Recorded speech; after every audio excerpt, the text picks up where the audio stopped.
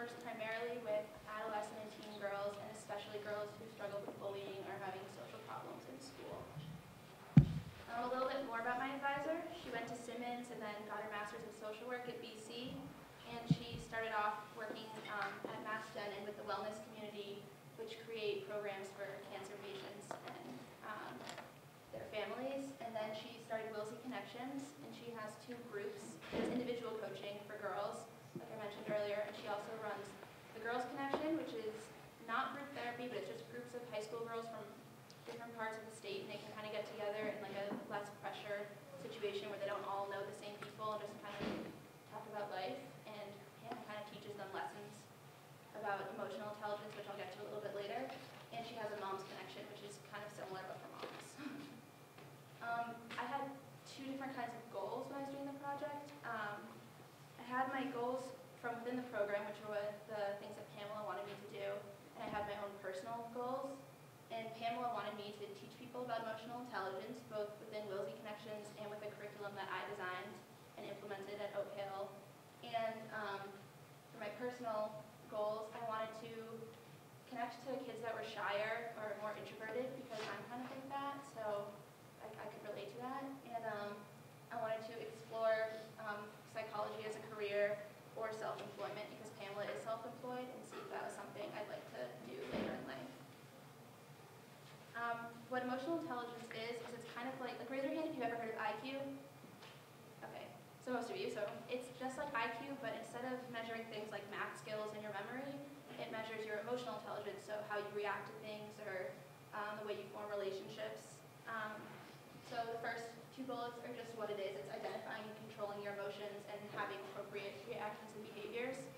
And um, what can come of it is healthy relationships and good leadership skills and group skills and kind of being happier and confident in your life. Um, it also, what's really important, and I think teaches, is um, kind of recognizing like the consequences of your behavior, both good and bad. Um, my responsibilities within the Girls Connection with Pamela was um, a mentor in her group, so a lot of the older girls have that role, and they just kind of um, a little bit before group starts, stay after it ends, and just kind of go over how it went and try to get the younger girls that might be less into it more involved and kind of help them work through any of their problems. Um, I also helped her plan some of her curriculum, and I maintained a Facebook page so that she could stay connected to other teenage girls.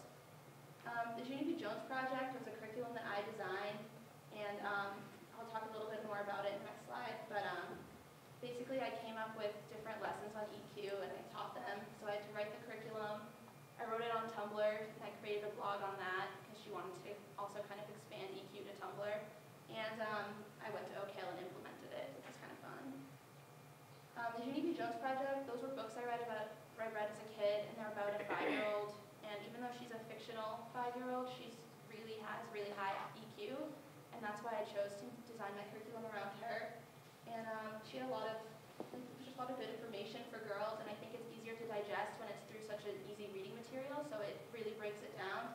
And even though the reading material was um, at the five-year-old, six-year-old level, that's not what it was about. It was really more about learning the lessons from her. So um, the groups were mostly activity-based and just kind of easy discussion. We would read, you know, two minutes from a book, not the whole thing.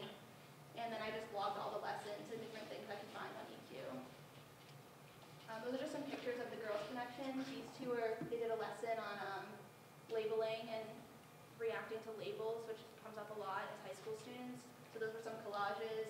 And then that girl's wearing like a funny hat, and that thing was about like the same way you dress appropriately, you want to behave appropriately and react appropriately. And those are just some pictures of the girls doing different activities. Um, some of the challenges I had were the first group I went to, when I did at Oak Hill, I actually cried after because the girls were so quiet and they wouldn't say anything and I thought they didn't like me or they didn't like it and that was really hard and I put so much time into it. But um, I mean, eventually they kind of, they broke out a little bit, but that was really challenging. Um, also, I've had to kind of change the curriculum because part of making an effective curriculum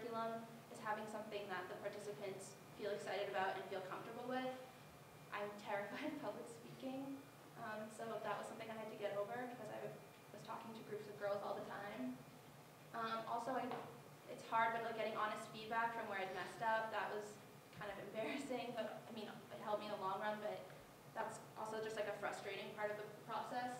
And um, communicating with adults, because I think, especially as a teenager, it's really hard to um, kind of get adults to take you seriously, so it took a little while to get the group starting up because people didn't get back to me or whatever, and I think also not being part of like the team at Oak Hill, it was kind of hard, but eventually got going.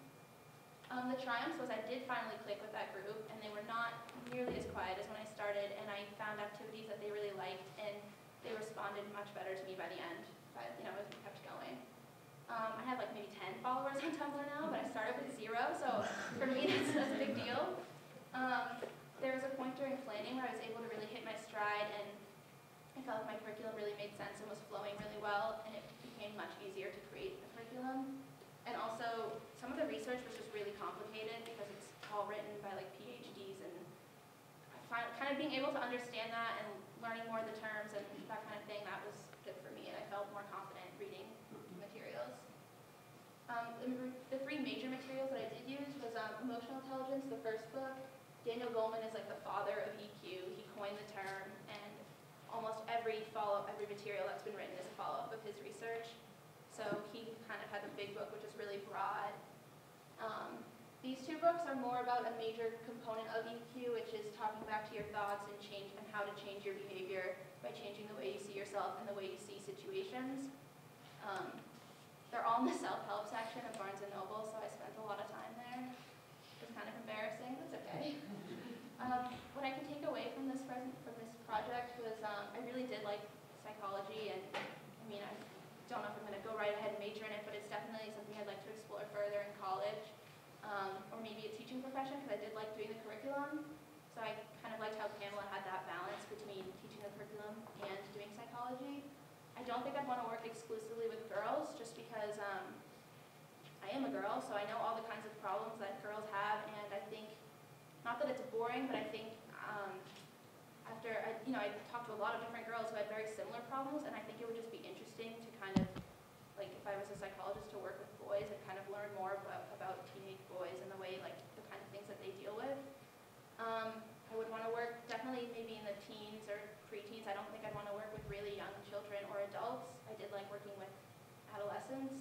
And um, I think I'd to do, you know, like working with multiple people and not just doing independent consulting, but having like my own office and a group of people because it's really hard to be running around